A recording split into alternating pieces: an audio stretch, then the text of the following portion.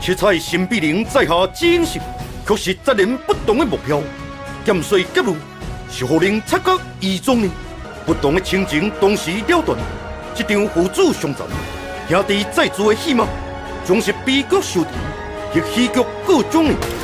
王金秋剑指我愿，杀伐不休，南大的倾力一看，一能保下这关一马。